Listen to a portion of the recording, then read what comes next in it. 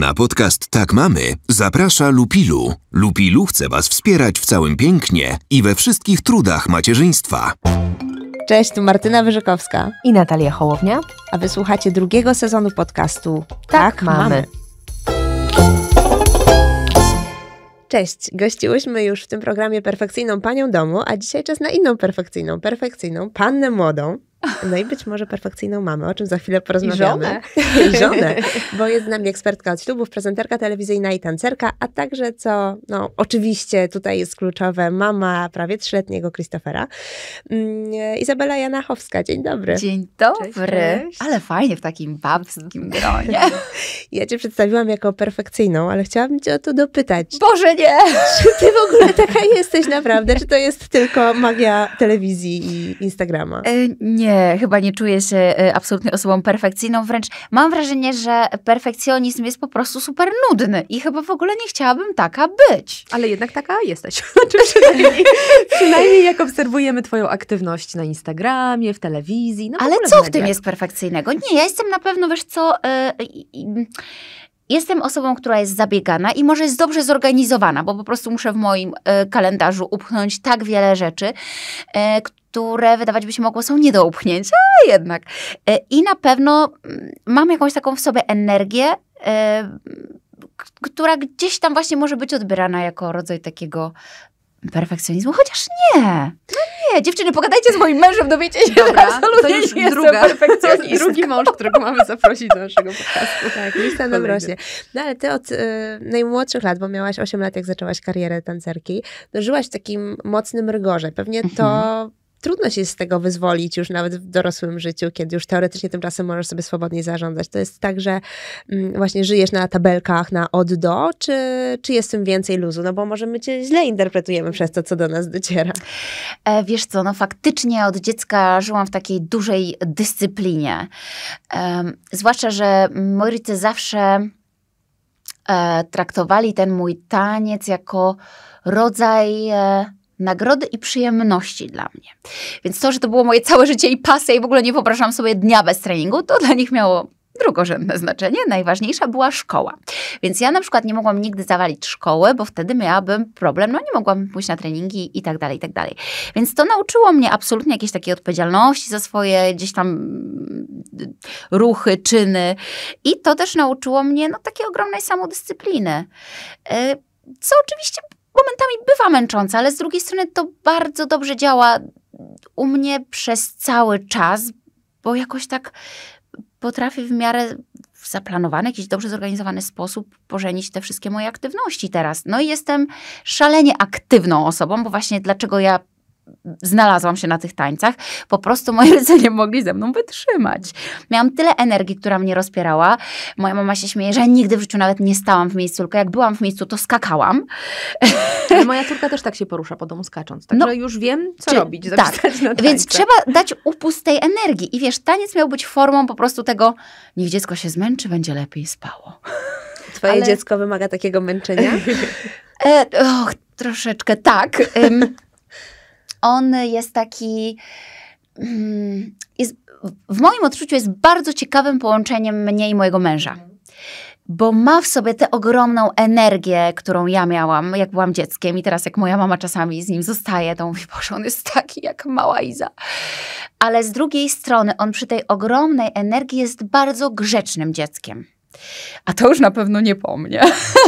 Ale właśnie, bo chciałam cię zapytać, bo skąd taka mała dziewczynka, bo od którego roku życia ty chodziłaś na te tańce? E, słuchaj, ja zaczęłam tańczyć w trzeciej klasie szkoły podstawowej, Okej. czyli to nie 8 lat, tylko Osiem. przynajmniej 9 Coś chyba trzeba mieć. Nie? okolice. Czy dziewięć. No, No to skąd ośmiolatka znajduje w sobie taką dyscyplinę, taki rygor? Bo wiesz, moi rodzice też chcieli, żebym ja w sporcie i w pływaniu i w tym i w tamtym, a mi się po prostu nie chciało. ja też chodziłam na tańce, tylko przez rok albo dwa, No a później się nie chciało. Skąd miałeś w sobie to samo zaparcie i y, tu chodzi o pasję, że od początku wiedziałaś, że to jest to, a jeśli tak, no to rewelacja, bo wiesz, ja studia skończyłam, nie wiedziałam jeszcze, co chcę robić, Znaczy jak po dorosnę. prostu się nie wkręciłyście, a ja się wkręciłam. Okej. Ja Mhm. zanim poszłam na tańce, e, grałam na fortepianie. Mhm. E, rozpoczęłam w, tam w zerówce szkołę muzyczną. E, miałam super też panią od fortepianu, która przyjeżdżała do mnie do domu. I gdzieś tam ogromne zainteresowanie muzyką miałam, ale te żmudne treningi, ten początek tego fortepianu, to było dla mnie takiego dziecka, które właśnie szalało zawsze, to było dla mnie torturą. Z jednej strony bardzo kochałam tę muzykę, ale z drugiej strony mm, moi rodzice też na szczęście to była też ich ogromna mądrość. Nie cisnęli mnie. Widzieli, że jeżeli coś mi się nie podoba, pozwolili mi odpuścić. I w momencie, kiedy przyjeżdżała pani na zajęcia muzyczne do mnie do domu, a ja mówiłam, ojeju, boli mnie brzuszek, chyba dzisiaj nie zagram. To oni po jakimś czasie stwierdzili, okej, okay, nie chcesz grać? Nie graj. Y, moja pani była przerażona, płakała strasznie, bo ja pamiętam, miałam 6, y, nie, przepraszam, 7 lat i wygrałam razem z nią jakiś taki konkurs fortepianowy na cztery ręce, w którym brały udział dorosłe osoby. Więc ona powiedziała, że ona w życiu takiego talentu nie widziała i ona po prostu nie pozwoli, żebym ja zakończyła tę swoją przygodę z fortepianem. No ale byłam nieugięta. I w tańcach miałam to, że po prostu ja tego chciałam. Poszłam na Moja koleżanka tańczyła, może to jest kluczowe. U to nas jest kobiet. Istotne, myślę. Moja koleżanka z klasy tańczyła i zaprosiła mnie na taki taneczny pokaz na zakończenie sezonu. E, I po prostu w momencie, kiedy ja zobaczyłam, wiecie, e, buciki na nawet, nawet małym, ale obcasie, sukieneczkę kolorową, błyszczącą i jeszcze te dziewczynki się przebierały i jeszcze tańczyły i robiły to do muzyki, to pomyślałam, hmm, to jest coś dla mnie. Powiem Wam szczerze, że moim e, marzeniem największym było zostać baletnicą, ale na to moi rodzice nie pozwolili. E, I zakończenie tego sezonu tanecznego, na którym byłam u tej mojej koleżanki, było no po prostu tam w czerwcu. I moi rodzice w ogóle, kiedy im powiedziałam, że chcę iść na taki tańc towarzyski, myśleli, że do września ogólnie zapomnę. No ale wrzesień, a ja, mamo, tato, gdzie te tańce? No i zostałam zapisana przez nich na zajęcia. Na początku chodziłam dwa razy w tygodniu, potem chodziłam trzy razy w tygodniu, a oprócz tych trzech, razy w tygodniu stwierdziłam, że jeszcze pójdę do innej grupy na dwa pozostałe dni. Więc totalnie, wiesz, się wkręciłam w to. To nie było tak, że ktoś mi tam kazał, tylko no to było dla mnie super. Ja, tak jak zauważyłaś, ja się nie wkręciłam, chociaż ja tutaj winię um, moje warunki fizyczne, A nie ponieważ zawsze się właśnie zaraz do tego dojdę, właśnie dokładnie zaraz do tego dojdę, ponieważ ja byłam zawsze wysoka i byłam najwyższa i y, jedyny wysoki chłopak w tej grupie mi nie pasował i musiałam z nim tańczyć i zawsze mi to bardzo przeszkadzało, mm, więc no nie chciałam do tańca chodzić i później po paru latach, jak miałam bunt nastoletni, to winiłam moich rodziców właśnie, że jakbyście mnie wtedy przycisnęli, to bym teraz miała przed sobą okay, świetlaną karierę tancerki, mm. więc tak, absolutnie coś tak, to się tak rozegrało y, podręcznikowo. Ale, Ale słuchajcie, ja miałam naprawdę ogromne zaangażowanie zaangażowanie, bo na początku, jak ja poszłam na te tańce, to w ogóle nie miałam partnera. Wszyscy mieli pary, a ja nie. I z tego co pamiętam, pierwszy rok na pewno, o ile nie około dwa lata, ja tańczyłam i chodziłam na wszystkie treningi sama. Czyli moja wymówka straciła. Ale ja muszę to teraz sobie wyobrazić. Czyli ty tańczysz tańce w parze solo. Sama żebyście wy były teraz w mojej głowie. Naprawdę dobrze wygląda. Dobrze, ja sobie zapiszę ten, ten widok. Więc ja się tak starałam, bo tak chciałam zdobyć partnera. Ja byłam najbardziej zaangażowana z całej grupy po prostu. Absolutnie, wiecie, walczyłam o faceta. Widzisz, od najmłodszych lat, dokładnie. E, dodam tylko, że jak go dostałam, byłam super niezadowolona, bo okazało się, że facet w tańcu mi definitywnie przeszkadza. No, tak. A w życiu? A w życiu się już pogodziłam z tym, że żyjemy w parze. Mm, wiesz, to jest kwestia jednak odnalezienia tego właściwego. Myślę, że i w tańcu, i w życiu. I to nie tylko się tyczy partnera, ale też dziecka, bo ty zanim zostałaś mamą, to mhm. mówiłaś, że dziecko to nie jest historia dla ciebie. O, nigdy w życiu. Jak ja nie lubiłam dzieci. Trochę boję się nawet wypowiedzieć te słowa, ale naprawdę ja bardzo nie lubiłam dzieci. E, wszyscy znajomi moi, też najbliżsi, wiedzieli, że jak widziałam dziecko, to mówiłam, subachor. Więc no nie miałam sympatycznego jakiegoś takiego stosunku. Ale ja miałam podobnie, wiesz, ja też w ogóle tak? nie miałam żadnego instynktu macierzyńskiego, póki sama nie zostałam mamą, nic, zero. Zero. I wiesz, nawet e, koleżanki naokoło rodziły, no bo to już ten wiek, mm, no fajnie, fajnie, tak mam wybrać drogę. Gratuluję. W ogóle, w ogóle nie czułam, że jest to temat dla mnie. W ogóle nie czułam, że to jest coś, co uniosę. A ja -hmm. jednak zawsze byłam taka, wiesz, ambitna. -hmm. Więc mhm. jak czułam, że coś jest nie dla mnie, to wolałam zrezygnować na początku niż przegrać. Już no po dobra, tańcu no to... wiedziałam, że wiesz, przegrywanie jest okay. trudne. Jest super. Nie idzie mi najlepiej, wiesz. No to powiedz w takim razie, jak reagujesz, jak widzisz na teście ciążowym dwie kreski? W momencie, kiedy ja zobaczyłam u siebie, no to byłam no, przeszczęśliwa, bo to jest taki e, troszeczkę taki zwrot akcji u mnie, że wiesz, z tego nie chcę, nie chcę, nagle chciałam, chciałam, a okazało się, że to nie jest takie łatwe. Więc w momencie, jak nagle zaczynasz się starać, e, przez jakiś czas ci nie idzie i nagle jest, no to już jest mega radość i mega sukces. Więc ja byłam no zachwycona, zachwycona na maksa. I to nie raz. Niestety przeżyłam trochę zachwytu, trochę smutku potem, ale... Yy... Czy masz na myśli, że straciłaś ciążę? Tak. Mhm. I, I to pamiętam, była taka sytuacja, że jak mm, dowiedziałam się, że jestem w ciąży, to było w momencie, kiedy byłam z moim e, mężem w Rzymie, który był dla nas miastem wyjątkowym, bo tam on mi się oświadczył. I byliśmy w Rzymie świętując naszą drugą rocznicę ślubu. I nagle zrobiłam ten test, mówię, coś się dziwnie czuję, zrobiłam test w hotelu, pyk no to już nie świętuję tego małżeństwa, to już nie piję alkoholu, odejdź mi z tym szampanem, już wiesz. E, a mieliśmy hotel przy schodach hiszpańskich, więc Krzysiek, Jezu, jak ty wejdziesz na te schody? Słuchajcie, bo tam dużo stopni jest. To, to, to był rodzaj nawet takiego trochę szaleństwa.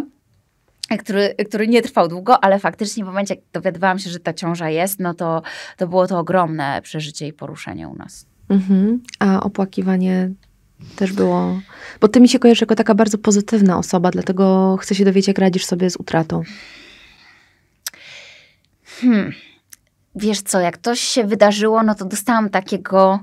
Nie wiem, czy mogę użyć takiego polskiego słowa. Możesz, takiego, wypikamy. Takiego pie wiesz, że to już że zostanę mały i ogólnie ja już mam dziecko. E, więc e, szliśmy sobie e, taką ulicą zakupową i ja mówię do Krzyśka, kupmy już te pierwsze buciki. A on mówi, e, nie wiem, czy to najlepszy pomysł. Nie no, proszę cię, no kupmy. I nawet, wiesz, po prostu pierwsze buciki Fendi, bo w Rzymie, no tak. więc wiesz, Fendi Rome. Kto bogatemu zabroni? to był taki rodzaj, że wiesz, że to miasto takie ważne, więc chciałabym markę, która jest stamtąd, więc wiesz, pierwsze trzewiki e, bo tak pomyślałam, to nawet nie musi chodzić, ale to wiesz, zakomunikujemy rodzicom czy coś. E, potrwało to, hmm, było to w ocenie, że, że, że to poranienie nastąpiło między 8 a 10 tygodniem ciąży, więc może całe szczęście, że tak szybko, że pomimo tej mojej całej już tutaj takiej, wiesz, fascynacji i euforii, um, to nie było później, że, że, że, to, że wiesz, nie widziałam tego dziecka, że nie musiałam go urodzić. Jakby te sytuacje, które są na etapie utracenia ciąży później, no dla mnie są absolutnie niewyobrażalne. To, co sama przeżyłam, było. No dosyć takie traumatyczne i w sumie ja nie mogłam uwierzyć, że mi nie wyszło. Ja jakby odebrałam to za, taki, za taką swoją porażkę. I no, no tak byłam oszołomiona i długo, długo nie mogłam dojść do siebie. Jest coś takiego w poronieniach, że one wywołują jakieś poczucie wstydu. Ja też nie? mam to ze sobą i bardzo było to dla mnie zaskakujące, że nie, że tak, nagle, tak jest. Hej, co, się dzieje? Wiesz, dzwonię do lekarza, e, co, coś jest nie tak. No więc straszne to było. I, i, i, I nie wiem, czy też tak miałaś, ale ja od razu doszukiwałam się swojej winy. Nie? Na zasadzie, ale dlaczego to się stało? Ale co zrobiłam nie tak? Wiesz, i ten mój lekarz dostał prosto ode mnie 100 pytań. I on mówi, no pani Iza, no tak się zdarza, jakby to jest bardzo wczesny okres tej ciąży. Wiele kobiet w ogóle ma poronienia, o których nie wie w pierwszych tygodniach, tam w pierwszych czterech myśli, że ma normalny okres, a okazuje się, że to jest poronienie. No więc e, okazuje się, że tych poronień jest strasznie dużo, ale każda z nas jednak bierze to tak bardzo osobiście. I e, no było to super niemiłe. A te buciki zostały na pamiątkę tego wydarzenia, czy schowała się? Słuchaj, schowałam je gdzieś głęboko. Pomyślałam sobie, że to jest ich wina, nie moja w końcu. Okay. był że, ktoś do obwinienia. Dobra. Tak, że to jednak był zły pomysł i że mój mąż mądrze mówił, że takich rzeczy się nie robi i nie kupuje po prostu. Ach, no jak, jak ta e, lekcja niezapeszania wpłynęła na cieszenie się z ciąży z Chrisem? Wpłynęła bardzo, bo... E, moi rodzice, czyli pierwsze osoby, które się dowiedziały o mojej ciąży, dowiedziały się, kiedy kończyłam czwarty miesiąc. Mm. Czyli tym razem byłaś taka bardziej powściągliwa w tym wszystkim. Byłam. E, wiesz co, e, zawsze mówi się, że te pierwsze trzy miesiące są takie najbardziej mhm. E, kluczowe i też takie wrażliwe i lepiej faktycznie nie mówić. Ja jeszcze odczekałam sobie jeden miesiąc dodatkowo, bo wydaje mi się, że w ogóle dużo trudniej byłoby mi przejść przez to poronienie w momencie jeszcze jak ludzie naokoło by o tym wiedzieli. No pewnie, że tak. Mhm. Więc to było takie moje, wiesz, takie osobiste, osobiste, więc z tą już ciążą, ciążą, która się udała, no czekałam, czekałam. A z takim powiedzeniem ogólnie, no to czekałam chyba już praktycznie do siódmego miesiąca. Mhm. Ja muszę wrócić do tematu jednak e, tych drogich dodatków dla dzieci, bo to jest coś, co mnie bardzo frapuje. No. Bo ja, mi też odbiło, jak e, zostałam już mamą i e, miewam takie jeszcze cały czas ataki, że po prostu ochotę temu dziecku kupić po prostu mhm. jakieś szalone rzeczy, a jak, a że słuchają nas w większości mamy, no to wiedzą, jak kosmiczne potrafią być ceny takich nawet mm, drobnych rzeczy i, i że jak tutaj końca nie ma. Jak szybko te dzieci wyrastają. I jak szybko te dzieci wyrastają i jak mało z tego korzystają. No i tak sobie próbuję wyobrazić, jak wygląda takie odpięcie wrotek przy tych zakupach u osoby, która ma ten budżet, no, która stać na wszystko, i za no. wielki, no. Wiecie co, e, na, na pewno na początku e, no to był jakiś taki szał i w ogóle chciałam mieć wszystko dla tego dziecka, nie tylko ubranka, tylko chciałam mieć po prostu wszystko najlepsze. Ale co to znaczy? To znaczy wózek, y, wszystkie produkty? Wszystkie produkty. Chciałam mieć najpiękniejsze na świecie pokoik, łóżeczko, wózeczek, nosidełko, no wszystko po mhm. prostu. Jak wygląda najbardziej luksusowy wózek dla dziecka? Bo ja jakby, to, to mnie ciekawi, jakby kiedy wchodzisz na tą półkę, na którą ja nie wchodziłam, mając dziecko, pierwsze, drugie też nie, ale no przy pierwszym nie wchodziłam. Jakby na co zwracasz uwagę właśnie szukając tego takiego luksusu w kategorii który chcesz dać dzieci, swojemu tak, dziecku, prawda? Tak, że tak. chcesz, żeby Wiecie miało wszystko co? to, co najlepsze. Jak ja był, byłam mamą po raz pierwszy, mówię, jakbym była po raz drugi. E, w momencie, kiedy po raz pierwszy zostajesz mamą, to na, tak naprawdę nie wiesz, co da twojemu dziecku komfort. Więc Oczywiście, ogólnie poszukiwania mhm. są super trudne. Więc... E, ja na przykład ogromną uwagę przykładałam, jeżeli chodzi o wózek, do tego, żeby mi się podobał, żeby był fajnie zdesignowany, no bo jednak będę z nim dużo chodzić i tak dalej, więc to było dla mnie ważne, bo on był ładny. A jednocześnie wychodziłam z założenia, że takie największe firmy, które produkują wózki, które produkują ich najwięcej, pewnie też mają po prostu najlepsze know-how. Czyli mają pewnie już taki feedback od poprzednich mam, że te wózki ich dopracowane są pewnie do perfekcji. Um, Wiem już, że przy niektórych wyborach popełniłam błąd i e, e, na przykład jakbym miała drugie dziecko, to pewnie wiedziałabym na co zwrócić uwagę i, i co jest dla mnie ważne i co wolałabym zmienić. Natomiast wtedy, no to jest takie, wiesz, trochę wybieranie po omacku. A pozwoliłaś sobie na jakieś takie szaleństwo właśnie w tych zakupach? Kupiłaś jakąś taką rzecz, która była właśnie... Śpioszki Chanel na tak, przykład. Tak. No. Chanel nie ma śpioszek. Ale widzisz, czyli widzę, że już znasz asortyment do niemowląt. Dobrze, dobrze. Słuchaj, oczywiście, że, że kupowałam e, ubrania, które e, były tych bardzo wysokich marek i czasami za jakieś e, horrendalne pieniądze. Natomiast też to, to, to nie była jakby cała moja szafa. No. Starałam się, tak jak tak naprawdę dla siebie. Starałam się to łączyć. Te droższe rzeczy z, z rzeczami też, y, przy których naprawdę zwracałam uwagę na jakość. I wyszukiwałam takich marek, na przykład jak Krisuś był malutki, że na przykład jak były te śpioszki, to żeby faktycznie miały doskonałą jakość tej bawełny, mm -hmm. żeby to była ta Pima Cotton i wyszukiwałam różne, nawet takie malutkie firmy, które po prostu stawiały na super produkt. Um, Natomiast y, szybko się zorientowałam, że na przykład łączenie tych marek w stosunku pół na pół jest złym pomysłem. Zorientowałaś się przy rozszerzaniu diety, czy wcześniej? wcześniej. Wiesz co, on się urodził bardzo malutki, bo też ja urodziłam trochę przed czasem i on w niesamowitym tempie rósł. Mm. Więc y, zanim pojawiła się marchewka, już ta mądrość zapukała do mych drzwi i powiedziała, hmm, więcej tych dobrej jakości nie brandów.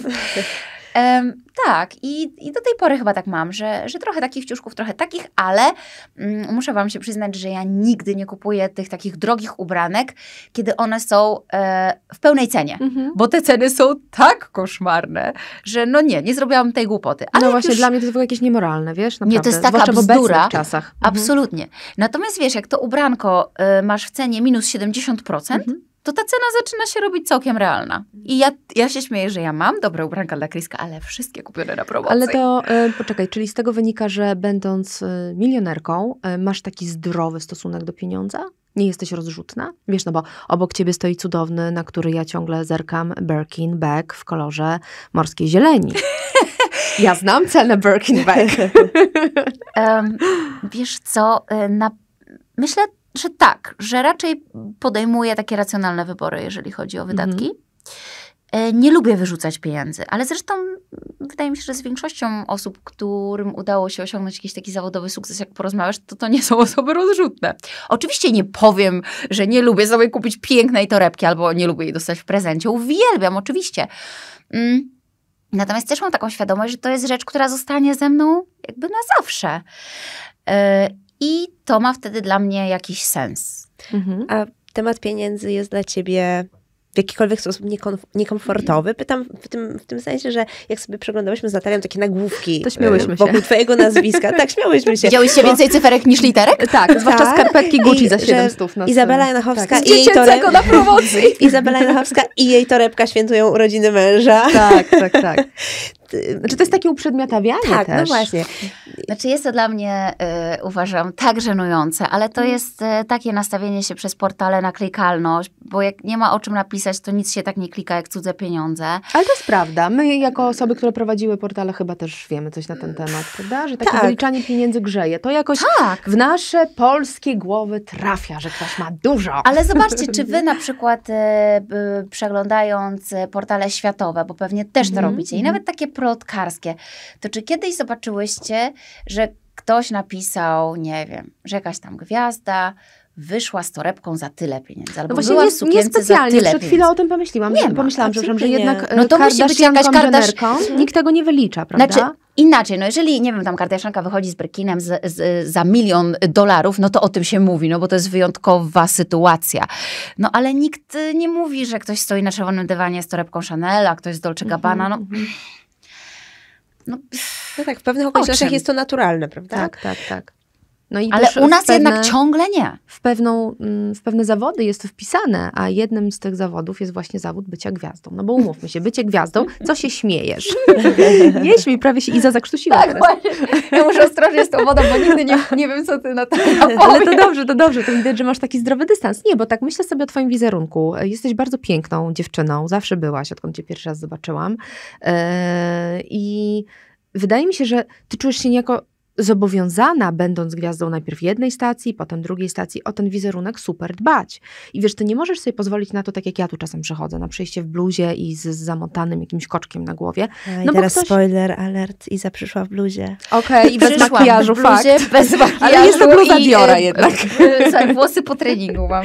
A wiesz, że chyba pierwszy raz cię widzę bez makijażu? Pięknie wyglądasz. O Jezu, dziękuję, jestem e, dosyć... Znaczy, ja ogólnie muszę wam powiedzieć, że ja... E Makijaż to jest dla mnie część pracy. No właśnie. I do tego zmierzam, że I... wizerunek traktujesz jako sposób... Narzędzie pracy. Narzędzie pracy, tak. Ciało, Więc, e, wizerunek. E, u mnie na mhm. co dzień, czasami ludzie, wiesz, jak mnie widzą na ulicy, tak, o Boże, jaką pani jest dziewczynką, nie poznałam pani. Mhm. Bo ja naprawdę chodzę raczej na sportowo ubrana i jak tylko mogę, to się nie maluję, tylko nakładam krem i lecę, bo to jest dla mnie też duży komfort po prostu, mhm. że ta buzia nie jest obciążona makijażem, no najpiękniejszym na świecie nawet, ale jednak, no to męczy po co to mam robić w dniu, kiedy nie muszę. Ale mam wrażenie, że ty też z tego dbania o swój wygląd musisz się tłumaczyć. Bo na twoim Instagramie czy na portalach plotkarskich to ile już operacji plastycznych ci wy, wypominają, jakiejś medycyny estetycznej. Ale nawet to, że ty miałaś prawo schudnąć po ciąży bez jakiegoś specjalnego treningu. Mhm. Wiesz co, to jest dla mnie, no to już jest przekraczanie wszelkich granic, tak? Zobaczcie dziewczyna, nie mamy prawa chudnąć. Ale też, I wiesz, jednocześnie, też nie mamy prawa. dokładnie, nie masz prawa no. w drugą stronę. Ja mam wrażenie, że z wiekiem łapię już taki zdrowy dystans do tego, co piszą te media. Wcześniej oczywiście bardziej to przeżywałam. Natomiast w obecnej chwili ja mam już totalną świadomość, że bez znaczenia, co ja zrobię, zrobię nie tak. Będzie to skrytykowane.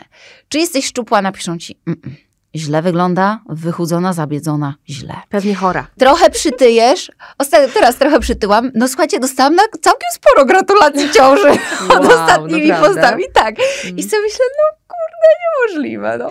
Więc e, teraz się trochę z tego śmieję, ale już naprawdę, to jest wiesz, tak jak...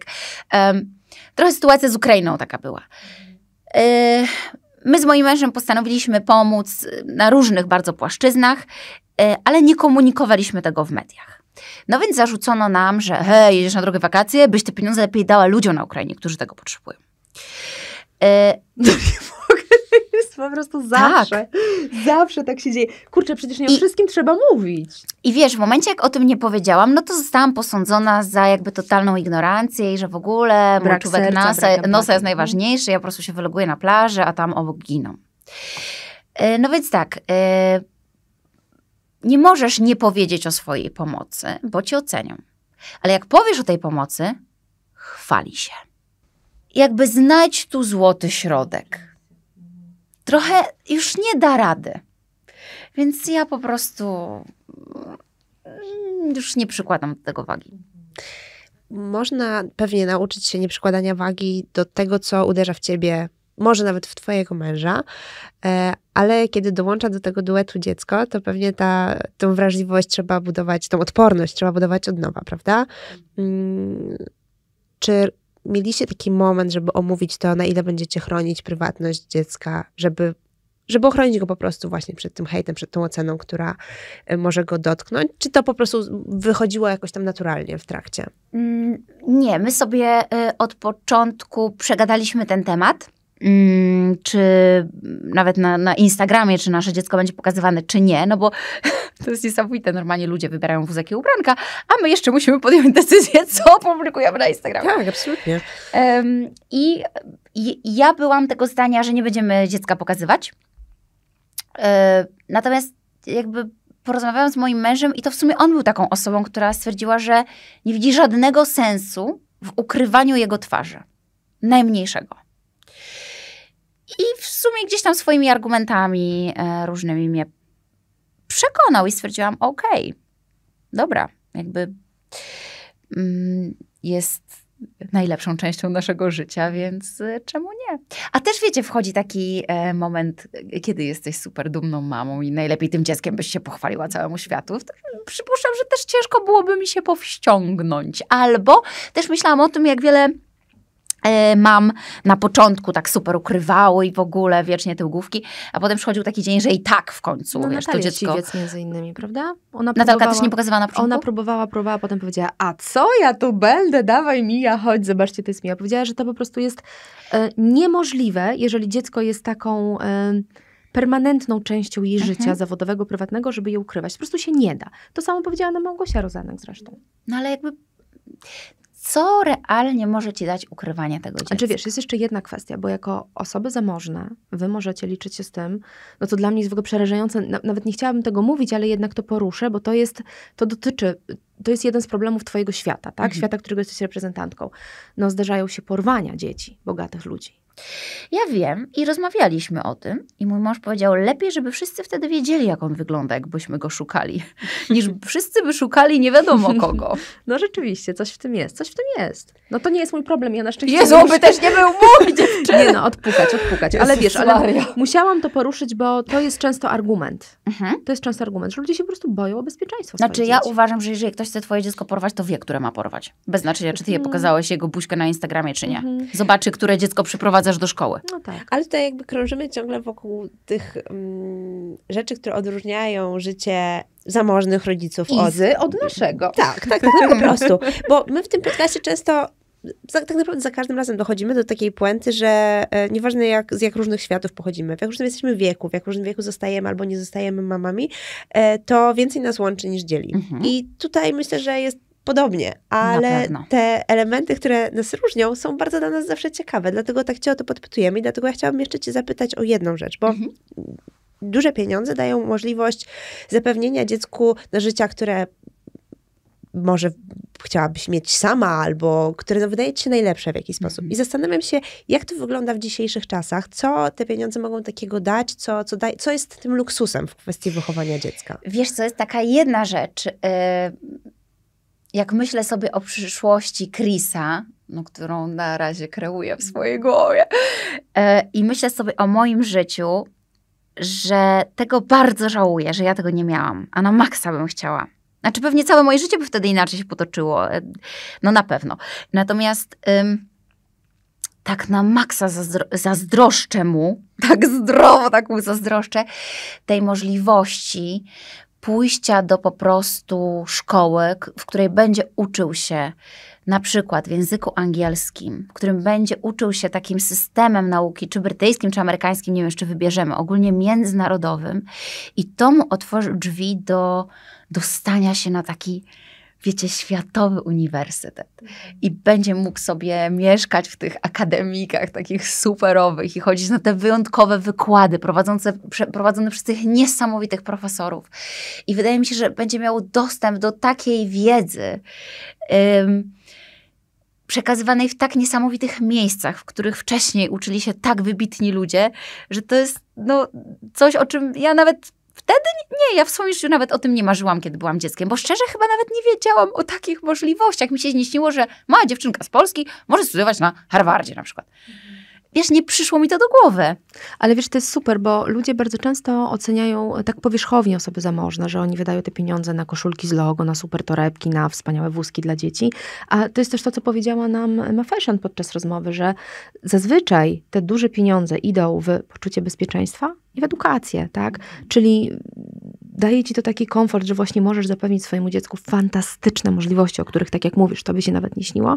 I gdyby, nie daj Boże, coś złego się stało, to stać cię na lekarza po prostu. Tak, dokładnie poważnie to zabrzmiało, ale, ale no... no ale to jest, wiesz, I wydaje mi się, ważne. tak, to jest, że to jest to, co powiedziała Martyna, że właśnie wszystkie nas łączy to, że chcemy dać tym dzieciom, no zdrowie i bezpieczeństwo i możliwości, prawda? Bez względu na to, jaki mamy status finansowy. Pokazać im świat, pokazać mhm. możliwości. Niech to dziecko znajdzie swoją drogę, niech ma w tym jakąś taką swoją wolność to, to absolutnie nie jest tak, że ja już wybrałam drogę życia dla Chrisa i wiem, kim on ma zostać w przyszłości. Nie mam zielonego pojęcia. No, I w sumie... iść w, tań, w tańc towarzyski, to co? Kurczę, po moim trupie. Właśnie, no i to jest bardzo ciekawy moment tej rozmowy. Dlaczego? Dlaczego przecież tak to kochałaś? Nie mogę wejść na ten uniwersytet, na którym ja nie byłam. Widzisz, widzisz, czyli leczymy swoje kompleksy. Nie no, żartuję, To jest tak oczywiście. niby, że dzieci nie mają realizować tak, swojej drogi, tak. której nie miałaś. No jednak trochę jest tak. tak. Niech robi co chce, byle na Harvardzie. Co on tam ma swoją drogą? On ma moją drogę realizować. Czyli tak, ewentualnie Yale, Eton. Mamy kilka nie no, ale czekajcie, czekajcie, hipotetycznie. Ma 7-8 lat, tak jak ty i mówi ci, wiesz co, mamo, mnie tak kręci ten taniec, też bym chciał. Czyli te ostre treningi. Wiesz, bo ja jako dziewczynka dziesięcioletnia chodziłam na gimnastykę artystyczną, uwielbiałam to, wiesz, noga podnoszona do góry, szpagat taki, taki. Coś mi się stało w kolana nie wiadomo co, jakieś zwrodnienie i to podobno wzięło się z tego, że tych małych ciałek dziecięcych, tych, tych jeszcze nie do końca uformowanych kości nawet, nie można obciążać. Przecież dzieciom maleńkim odradza się na przykład judo, Mhm. Wszelkie jakieś takie mm, przeciążeniowe aktywności. Nawet z pierwszymi nartami musisz trochę poczekać. To prawda. Nie, nie ma takich prawda. maluszków czasami, które widzimy na Instagramie, ledwo mhm. odrosły od no, ziemi, już jadą po stoku. No tak, nie należy tego robić. za wcześnie, więc y, mhm. myślisz też pod tym względem, że to jest niebezpieczna pasja? Wiesz co, no ja sama cierpię y, przez y, swoje kontuzje kolan od, od, od lat i w sumie też ona, ta, ta kontuzja zakończyła moją karierę taneczną, więc... Więc Harvard. No wszystko się do tego no sprowadza. Tak, Rozsądny wybór. Tak, tak, bardzo. Znaczy, po... Słuchajcie, trochę możemy tu sobie żartować, ale prawda jest taka, że ja widzę w moim dziecku, że on ma charakter, no niestety po rodzicach. I jak on coś postanowi, to nie będzie dyskusji. I jak on mi powie, że on będzie tańczył, to jest trochę tak, jak ja wtedy powiedziałam moim rodzicom. Ja jedynie będę mogła postawić warunki. Ok, możesz realizować swoją pasję pod warunkiem, że nie zawodzisz na polach, które są twoim obowiązkiem. I tyle. No, słuchaj, on jest jeszcze na tyle mały, że jeszcze możemy sobie żyć z taką nadzieją, że po prostu zrobi tak jak Tak jak ja chcę, myśli. ale uwierzcie mi, tego życzę. zrobi tak jak on chce. To na pewno. Już dał, już dał to odczuć. Mhm. E, ale chciałabym cię Iza zapytać jeszcze o to, jak ty się w samym macierzyństwie odnalazłaś, bo my jesteśmy teraz w takim nurcie, gdzie bardzo dużo mówimy o niedoskonałościach, o normalizowaniu tego wszystkiego, co jest związane z naszą cielesnością, my same tutaj często mówimy o karmieniu piersią w miejscach o publicznych, połogu, o porodzie, o, o połogu. połogu który nas zaskoczył. Mm, mhm. Czy te takie fizyczne tematy były dla ciebie zaskoczeniem po, po, po ciąży? Czy były dla ciebie jakimś powodem do, nie wiem, skrępowania, jakimś tabu? Mm, szczególnie no bo, myślę tutaj o połogu, o tak. tym dochodzeniu do siebie, bo no właśnie to twoje ciało takie wypracowywane przez lata, mm -hmm, czy ono cię Zawiodło, czy w drugą stronę? Czy ci pomogło? Bo ty masz, wiesz, niesamowitą świadomość ciała i niesamowicie sprawne ciało. Mhm. E, wiecie co, faktycznie bardzo szybko po ciąży doszłam do siebie. Mhm. E, I fizycznie, i psychicznie, bo ten połóg to prawda jest nie tylko to, że chodzimy z brzuchem, ale, ale to też jest jakiś taki rodzaj tutaj e, sytuacji, które z powrotem muszą wrócić do normy w głowie. No i krwawimy bardzo długo też. E, ja muszę wam powiedzieć, że miałam super delikatny połóg. Szczęściara. Ob, ob, obeszło się to ciało ze mną mega e, delikatnie. Mm, natomiast ja um, od początku zakładałam, że nie będę dziecka karmiła piersią. E, natomiast jakby cała sytuacja poporodowa tak pokierowała mną, że mm, w sumie Chris sam sobie wziął e, pierś i zaczął ssać. E, I przez moment karmiłam go. I jakby nie byłam w ogóle na to psychicznie gotowa. I wiecie, to, że nagle masz te piersi takie ogromne i że one tak bolą i że tam jest taka temperatura i że to jest twarde i że w ogóle nagle z tych piersi leci ci mleko, czy chcesz, czy nie chcesz. To było dla mnie tak szokujące i tak w ogóle, wiesz, zawstydzające momentami. Bo pamiętam w szpitalu, że y, y, stałam sobie w piżamce mm, i rozmawiałam z lekarzem, on tak wiecie, patrzy raz w oczy, raz niżej, ja patrzę, a tu takie plamy i tak uff, Wiesz, no w ogóle to były takie rzeczy, które mnie zaskoczyły, bo mm, po pierwsze ja nie chodziłam do żadnej szkoły rodzenia, e, bo z założenia zdecydowałam się na cesarskie cięcie e, i nie chciałam dziecka karmić piersią.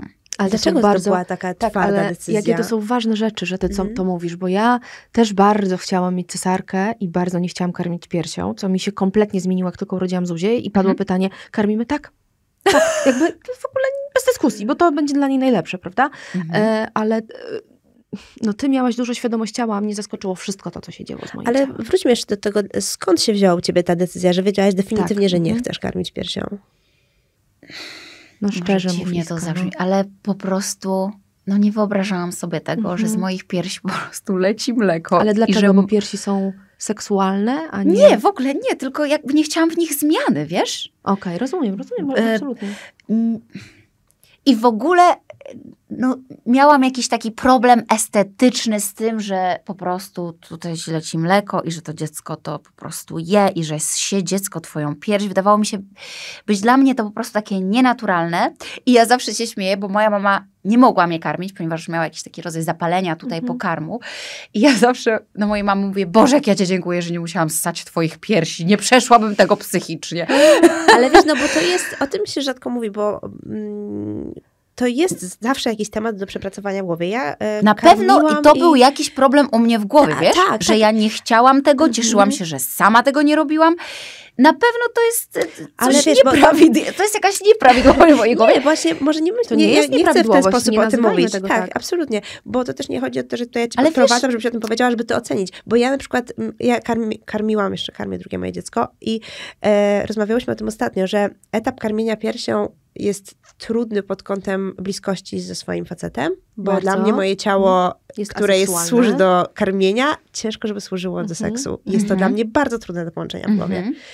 Miałaś taki zgrzyt też pod tym kątem? W ogóle o tym tak nie pomyślałam w ogóle nie miałam takich myśli. Bardziej miałam takie skojarzenie, Boże, nie jestem krową, żeby dawać mleko, A, naprawdę okay, to okay. nie Czyli jest taka ta... chodziła o... Mhm. Bo to jest taka zwierzęcość rzeczywiście, no bo to jest najnaturalniejsza taka bardzo rzecz na świecie. No tak. i słuchajcie, mnie to tak przerażało. I jakby ja byłam o tym tak rozumiem. przekonana, że ja nie będę karmiła, że jak poszłam e, i jeszcze nie zdążyłam też mieć, e, ponieważ nie szłam na tą szkołę rodzenia, miałam mieć po prostu takie prywatne spotkania, zresztą z moją koleżanką, która jest wspaniałą położną i e, mieliśmy zrobić razem z moim mężem, no taki kurs po prostu, że przyjdzie do nas do domu, wszystko nam pokaże i opowie. No i nie zdążyliśmy tego zrobić, bo tutaj nagle rozpoczął się ten poród dosyć szyb, w sposób, w momencie najmniej oczekiwanym. I jak przyszłam do szpitala, to jakby szpital był poinformowany o tym, że tutaj mm, muszą być gotowi z pokarmem, bo jakby dziecko nie będzie karmione przez mamę. I, yy, idąc na, na tę cesarkę, powiedziałam do mojego lekarza, zresztą do naszego przyjaciela, mówi, Wiesiek, e, daj mi, powiedziałeś, że taką tabletkę dostanę, dawaj mi tą tabletkę, żeby ten pokarm mi tutaj nie zaczął się lać. I on e, mówi do mnie, Izabela, dam ci tą tabletkę po porodzie. Ja mówię, ale dlaczego? Ja teraz ją chcę. Wiecie, ja miałam taką fobię, żeby to się nie wydarzyło. I on mówi, nie Izabela, dam ci po porodzie na wypadek, jakbyś zmieniła zdanie. Ja mówię, stary, to jest po prostu najpewniejsza rzecz w moim życiu, że ja nie będę karmić. Daj mi teraz. Nie dam ci. I wtedy byłam na niego tak wkurzona i poszłam do mojego męża. Mówię, Widzisz? On mi jest z tabletki, możesz z nim porozmawiać? ja nie mogę się denerwować, ja będę rodzić. E, I on powiedział, słuchaj Izabela, no przecież powiedział, że ci da, no poczekaj, już ta cesarka trwa moment i dostaniesz potem tę tabletkę. No jakoś mój mąż, nie wiem, ma na mnie jakieś takie działanie w miarę uspokajające. Więc faktycznie mu uwierzyłam i mówię, okej. Okay. No i w sumie widzisz, jednak ten lekarz wykazał się ogromną jakąś taką mądrością, czy też to było ogromne doświadczenie jego, że czasem to dziecko się rodzi i coś, wiesz, kliknie. E, I ja miałam taką sytuację, że jak pierwszy raz położyli mi Kriska, e, przynieśli mi go na, klat na klatę, to pani powiedziała, e, pani Izabelo, wiem, że pani nie chce karmić, więc go położę tak pionowo, żeby miał główkę tu i nóżki tu, e, no żeby się pani czuła komfortowo z tym. Ja mówię, no dobra, super. I ja go tak sobie trzymałam, trzymałam i to małe dziecko, które urodziło się przed terminem i było taką dwójpółkilową kropką, samo się przekręciło w ten sposób i po prostu wzięła moją pierś. No i co poczułaś? Znaczy poczułam, że absolutnie nie mam żadnego prawa mu tego odebrać. Mm-hmm, no właśnie, ja też to poczułam. Że jednak nie ja tu jestem decyzyjna. Dokładnie tak. I że chcesz dać mu to, co najlepsze. Tak. Mm-hmm. I wiesz, y, dyskusja się skończyła, nie? Znaczy wiesz, bo y, ja rzeczywiście od razu jak dano mi Zuzię, to tak instynktownie zareagowałam mhm. i zaczęłam ją karmić. Bez względu na to, co myślałam przedtem, a myślałam w zasadzie wszystko to, co ty. Tylko ostatnio przeczytałam w Wysokich Obcasach, że w ogóle coś takiego jak instynkt macierzyński to jest twór kulturowy, że to nie jest wcale że nie ma czegoś takiego i nie każda kobieta musi to czuć. I ja chcę to tutaj głośno i wyraźnie powiedzieć, że jeżeli jednak nie chcesz karmić i sama powiedziałaś, nie, nie zatraciłaś się w tym, tak, nie uznajesz, że to jest najfajniejsza rzecz na świecie, to według mnie powinnaś była dostać tę tabletkę. Tak, ja też bardzo o tym myślę, że mm, skończyło się dobrze, to znaczy mm, zaczęłaś karmić i, i, jakby było to dla ciebie komfortowe, ale z drugiej strony często mam ten zgrzyt i często tutaj w tych podcastach się to przewija, że inni próbują za nas często podejmować Mężczyźni, decyzje i podpowiadać nam mhm. E, właśnie, co my wiemy, że, że jest dla nas dobre i to myślę, że jest bardzo takie niefajne traktowanie. Mhm. Ale wiesz co, Iska, super, że ty to mówisz i że mówisz to tak otwarcie, bo ja się przekonałam, jak napisałam po urodzeniu Zuśki u mnie na stories na Instagramie, że chciałam mieć cesarkę, to trochę mnie zakrzyczano, że ja nie mam prawa mówić, że ja chciałam mieć cesarkę, bo ja przerażam dziewczyny, które się wahają, a ja właśnie sama chciałam mieć cesarkę. Potem okazało się, że muszę ją mieć, mhm. ale chciałam mieć cesarkę ze względu na to, że się po prostu bałam i, tak jak ty, ja nie chciałam tego doświadczać. Ja nie mhm. chciałam doświadczać tego, co w mojej głowie funkcjonowało jako jakaś rzeź, wiesz, i było takie zwierzęce. Nie chciałam tego sobie zrobić, mhm. bo też wiedziałam, że mam, że, że to nie jest na moją głowę, że ja sobie z mhm. tym nie poradzę. Okazuje się, że o tym nie można mówić. No właśnie to jest straszne, wiesz, że um, jesteś dorosłą kobietą, za chwilę zostaniesz matką, masz odpowiedzialność nie tylko za swoje życie, ale za chwilę za drugie życie. I co, nie możesz podejmować decyzji dotyczących no, twojego ciała? Mhm. No, w przypadku macierzyństwa to mam wrażenie, że to jest samo poleminowe, bo po pierwsze poród, czy weźmiesz znieczulenie, czy nie weźmiesz, bo tak. dodatkowe punkty są za urodzenie bez znieczulenia. Jezu, ja wiem, że jest Im dłuższy jakaś, poród, tym lepsza jesteś, nie? E, jakaś rodzaj e, takich szalonych internetowych matek, które po prostu jak nie zrobisz tego bez znieczulenia naturalnie na podłodze własnego mieszkania, to po prostu jesteś loser. Słaba. Czekajcie, słyszałam, mhm. że, że my nie mamy, czyli nasze dzieci nie mają urodzin, jak nie urodzisz naturalnie, to dziecko nie ma urodzin, tylko ma... Wydobyciny. Wydobyciny. To jest o, tak jak... okropne słowo. I nie. słuchajcie, i powiedzcie nam, kto tu jest chory? My, które chcemy cesarkę, czy ktoś, kto uważa, żeśmy nie urodziły i dzieci mają wydobyciny? No nie wiem, co powiedzieć, wiecie? No, jest to tak obrzydliwe. Czyli, I to jest aha, taki poziom odbiera absurdu. nam się to prawo Nie do... urodziłaś, pamiętaj, nie urodziłaś dziecka. dziecka tak. Słuchajcie, bo mamy tutaj cały katalog e, takich powodów do jakiegoś poczucia winy mm -hmm. albo hejtu mm -hmm. po prostu, który matki sobie narzucają nawzajem. E, a ja myślę o tym, co się dzieje w świecie ojców, bo twój e, mąż ma tutaj pełne prawo, gdyby był kobietą, do bycia bardzo hejtowanym, bo został tatą w późnym wieku. E, czy on czegoś takiego doświadcza, albo czy ma takie właśnie momenty biczowania się, tak jak, tak jak ty w tym swoim ojcostwie? Czy to jest o, zupełnie nie. inna historia? Wiesz, bo ja tylko tutaj odniosę się do tego, co powiedziała Martyna. Naszą gościnią była Weronika Marczuk, która urodziła tuż przed pięćdziesiątką i ona naprawdę po prostu oczekiwano chyba, że ona się publicznie wybiczuje za to, wiesz? Że jak ona mogła. I znowu, w ogóle jest tak. to dla mnie tak niewiarygodne. Jestem osobą, która wydaje mi się jest tak, ma takie poszanowanie jakby decyzji innego człowieka, jakby co mi do tego? Lubisz różową sukienkę, chodź w różowej. Lubisz cesarkę, rób cesarkę. Lubisz kole, pij kole. Oczywiście możesz mieć tę wiedzę, że ta cesarka ma takie skutki uboczne, a picie coli ma takie skutki uboczne, ale nadal jesteś dorosłą osobą i o sobie decydujesz na każdym etapie. A jeśli chodzi o mojego męża, no to... Mm, on jest tak silną osobą. Doskonale wie, co robi, jest super odpowiedzialny. Chcesz powiedzieć, że... że, przez to to spływa po nim? To znaczy nie... Bo czy w ogóle się nie spotkał z krytyką? No właśnie, czy nie spotkał z krytyką, bo to jest znaczy, moje bezpośrednio, pytanie. absolutnie, no. Kto ci przyjdzie i powie w twarz, jesteś gruba. Nie, ewentualnie no, ci to napisze. ale może ci to napisać. Ale tak. napisać, no tak. tak, no faktycznie. Czy, jakby od osób, na których zdaniu nam zależy, nigdy nie usłyszeliśmy mhm. niczego niemiłego. Y, czy, czy pod naszymi zdjęciami różnymi pojawiają się złe komentarze? Oczywiście, że się pojawiają. Czy nas to obchodzi? No nie obchodzi. A jeszcze mnie jako kobietę czasem coś tam ruszy. Ale jego? Mm -mm.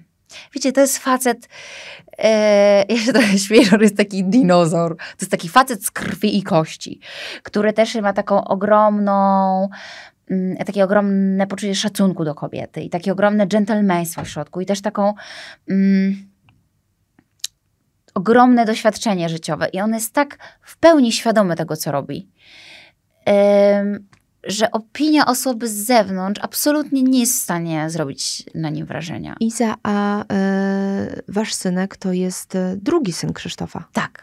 I on w jednym z wywiadów powiedział, że e, przynajmniej ja tak to zrozumiałam, że ma taki żal do siebie, że temu pierwszemu synowi nie dał tyle, ile może dać teraz Chrisowi. Na pewno, bo chodzi tu e, o inny moment w życiu. O moment pewnie, w życiu. Mhm. E, teraz faktycznie pracujemy dużo, ale też ta praca jest inna. Wtedy on miał taki moment, kiedy to życie zawodowe było szalone. To był też taki, no czasami masz takie momenty w życiu, teraz albo nigdy. I on po prostu masę czasu poświęcał na pracę i też mm, jakby nie pracował w, w mieście, w którym miał rodzinę. Więc bardzo dużo był poza domem. I myślę, że. Mm, że zobacz, też takie wyznanie wymaga ogromnej dojrzałości. Tak, tak, nie? absolutnie. Mhm, dlatego, e, dlatego pomyślałam, on że ma świadomość tego. Powiem ci tak, e, naszym mm, ogromnym stresem było to, jak jego starszy syn zareaguje na, na wiadomość o ciąży. Um, Krzysiek powiedział, że to on będzie osobą, która chce z nim o tym porozmawiać mm -hmm. i mu to przekazać. Natomiast jego reakcja nas tak rozwaliła i tak rozczuliła i była tak przesłodka, że nawet w najśmielszych snach u nas to tak e, się nie klarowało, więc e, no i, i najśmieszniejsze było to, że mówimy, okej, okay, wiesz, jeszcze tego dziecka nie ma, może fajnie zareagował, zobaczymy jak się dziecko pojawi. I ja pamiętam, że mm, był jeszcze malutki, miał, miał, miał, chyba kilka miesięcy i Oskar do mnie przyszedł i, i mówi do mnie, wiesz Iza, bo jakbyś chciała mieć z tatą jeszcze jedno dziecko, to ja znajdę miejsce dla niego w sercu. Ojej, naprawdę? Naprawdę. Wow! A ile Oskar ma lat, jeśli mogę spytać? On e, urodził się w 2005 roku, więc mm -hmm. w tym mhm, roku będzie miał 17 mhm. lat. Jak Krisek się rodził, to miał 15. Oj, 14. to faktycznie różne mogły być te reakcje, to jest trudny wiek. Dokładnie. No więc... Bardziej w wieku takim ostatnim taka wrażliwość robi wrażenie, wrażenie i rozczula. absolutnie. Tak. A powiedz nam jeszcze, ty weszłaś w rolę macochy, ty pełnisz dla niego rolę macochy, czy jesteś dla niego Izą po prostu? Czy taką macochą, wiesz, z bajek. Z bajek wredną taką. Słuchajcie. E, Trzymasz no, go w piwnicy i karmisz owsianką, wiesz. E, nie owsianką.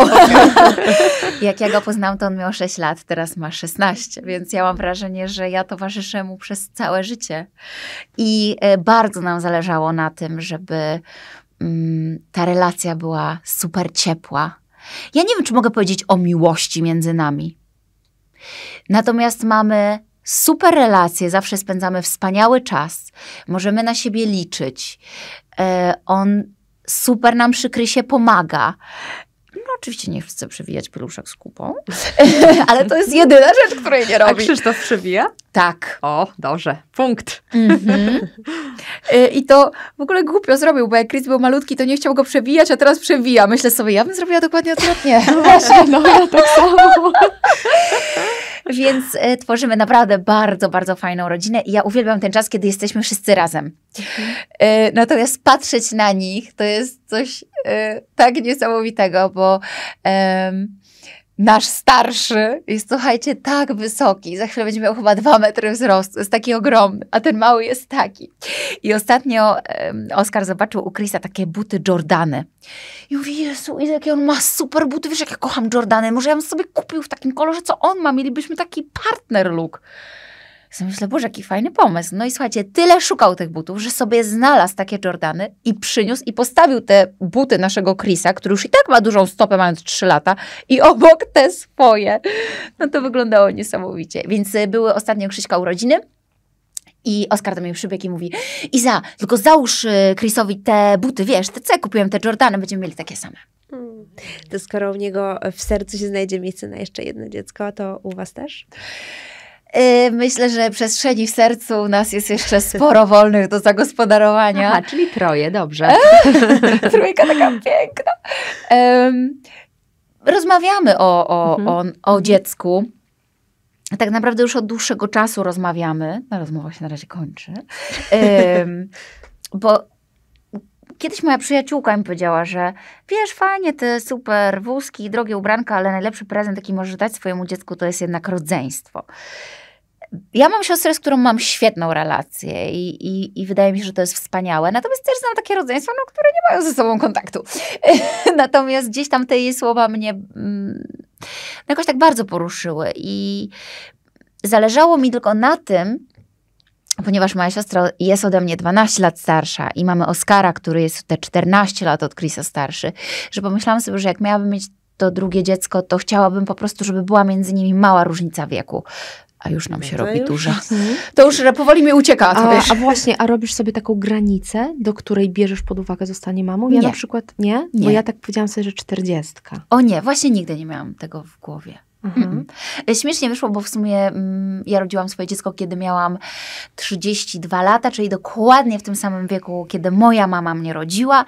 E, z tą różnicą, że moja mama w tamtych czasach była najstarszą kobietą na oddziale. No tak, to się bardzo zmieniło, to prawda. ja jedną z najmłodszych. Więc no to jest niesamowite, jak te granice się przesunęły, mhm. więc w ogóle nigdy jakby ta kwestia wieku e, gdzieś tam mnie nie ograniczała. Mhm. Wręcz, wiesz, tak myślałam inaczej. Pewnie w drugą stronę mam, że gdyby nie Krzysiek, gdyby nie ten moment, że on mnie namawiał na dziecko i gdzieś tam też argument o swoim wieku przedstawiał jako już nie czekajmy z tym dużo dłużej, to ja bym dziecko miała pewnie jeszcze później. Mhm. Rozumiem. No ja też zaszłam w ciążę, jak miałam 34 lata. Czyli byłam y, jeszcze później niż twoja mama, uchodząca wtedy za najstarszą. Ty, ty rodziłaś w tych czasach, kiedy ja. No tak, kiedy już wolno. Kiedy już wolno, kiedy już można. Dziewczyny, no ja niestety mam ten przykry honor do uczynienia y, i zakończenia tej rozmowy, y, ale cieszę się, że kończymy ją y, w takim, takim optymistycznym kolejny raz mhm. akcentem i, i tym właśnie, że wolność wyboru każdej kwestii jest tutaj priorytetowa i w kwestii macierzyństwa, rodzicielstwa w ogóle tych złych decyzji nie ma. Karmisz, nie karmisz, rodzisz tak czy inaczej, późno czy wcześnie, tak żeby dla Was było to dobre, to, to jest najważniejsze. Bardzo Ci zadziękuję za tą rozmowę i za tą szczerość. A ja Dziękuję. jeszcze dodam od siebie, że cieszę się, że okazało się, że nie jesteś tylko dziewczyną od ślubów, tylko dużo, dużo, dużo więcej. I że nie jestem perfekcyjna, proszę? No, nie wiem, jeszcze Martyna. Pomyślimy. pomyślimy, zanim wydamy werdykt. Dziękujemy bardzo. Dziękuję. Do usłyszenia za tydzień. Na podcast Tak Mamy zaprasza Lupilu. Lupilu chce Was wspierać w całym pięknie i we wszystkich trudach macierzyństwa.